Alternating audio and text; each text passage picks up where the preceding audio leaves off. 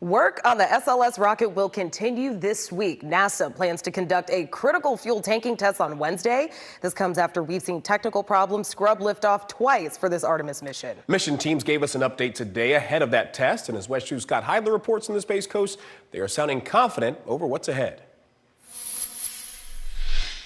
After replacing two seals and creating a new fueling process, launch managers and engineers keeping next Tuesday, September 27th, on the calendar as the next launch attempt. They're confident that the test will tell them what they need to know, how those seals hold up in the hydrogen fueling system, and also testing out a new approach to filling the tanks.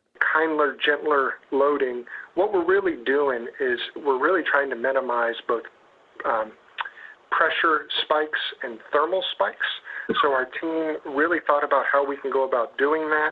Uh, what we are going to be doing is slowly bringing up the pressure. There was a mark on one of the seals that was replaced. Engineers think that might have been from debris inside the system. But there's one more hurdle after the test tanking. The Space Force is in charge of all launches from the Cape. NASA will need a waiver from them before they can launch the SLS rocket.